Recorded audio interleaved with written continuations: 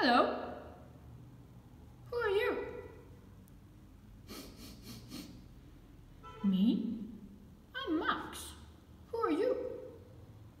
Stella's friends? Oh, I see. Stella was just going to tell me a story. I like stories. You want to hear it too? Okay, you ready?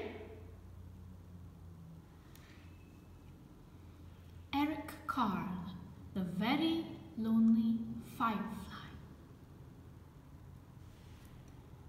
As the sun set, a little firefly was born.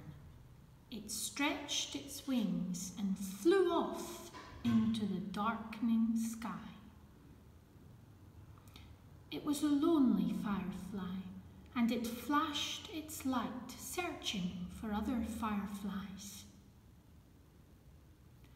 The firefly saw a light and flew toward it, but it was not another firefly.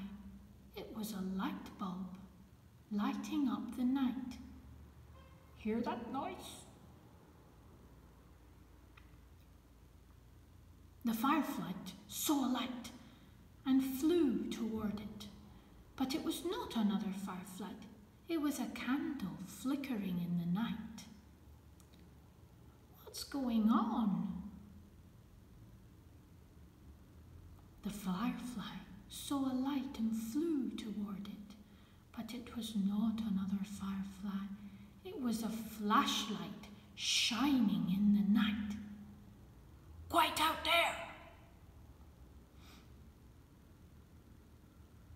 firefly saw a light and flew toward it, but it was not another firefly. It was a lantern glowing in the night. What is it?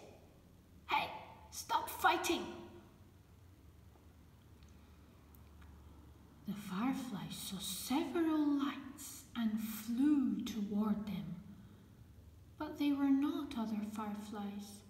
There was a dog and a cat. Meow. And an owl. Their eyes reflecting the light.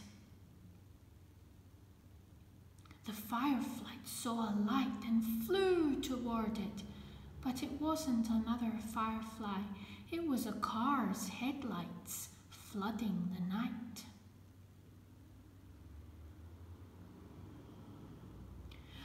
The firefly saw many lights and flew towards them. But there were not other fireflies. There were fireworks sparkling and glittering and shimmering in the night. When all was quiet, the firefly flew through the night, flashing its light, looking and searching again. Then the very lonely firefly saw what it had been looking for. A group of fireflies flashing their lights. Now the firefly wasn't lonely anymore.